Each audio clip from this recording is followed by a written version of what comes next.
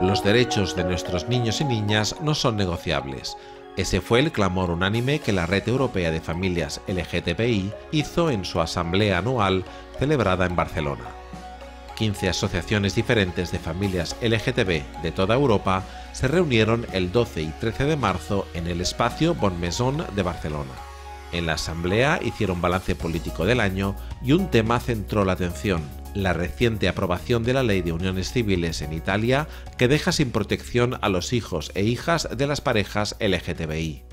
It was the opportunity to highlight the legal uh, situation for rainbow families, and it's still sad that to see that we still have to go forward to remember the politicians, to show political leaders, and to understand that all families, rainbow families within or where they're living in Europe, they need the legal recognition.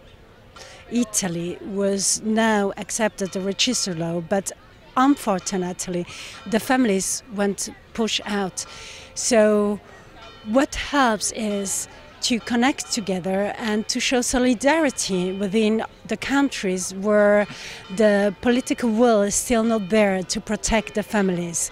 So what we hope that the next step will be is again to come together, strengthen our, our forces and help each other and to unite it and get a stronger voice together to show and ask Europe for human rights because those children are left out and the legal recognition is needed for all families.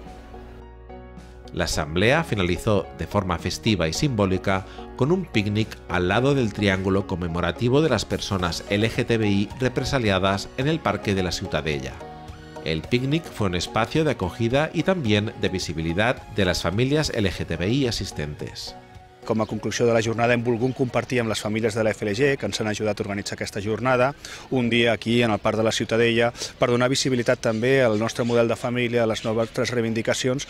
Compartirem un temps, els nens estaran jugant, nosaltres xerrant i estarem a la disposició de tothom que s'aprovi per aquí compartir amb el reste de companys europeus que encara estan lluitant pels drets de les seves famílies, pel reconeixement dels seus fills i dels seus drets, que aquí nosaltres hem avançat, encara es queden coses pendents, però que podem ensenyar-los un camí que hem de fer.